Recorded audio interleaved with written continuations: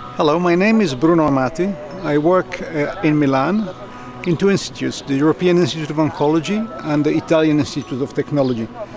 My laboratory works on the function of oncogenes that are activated in uh, specific tumors, in particular the so-called double hit lymphoma, which is a, a big problem in the clinic, uh, which activates MYC and BCL2, two oncogenes that participate to the very aggressive transformation of those cells.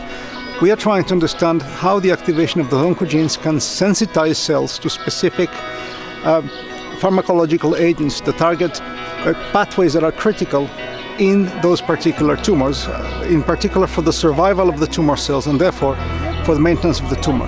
Targeting those pathways may actually provide a therapeutic window against those tumors in the clinic uh, in combination with existing frontline therapies. And double hit lymphoma is a particular problem because it actually is uh, immune to most of the current frontline therapies. It, it relapses and doesn't respond well in the clinic.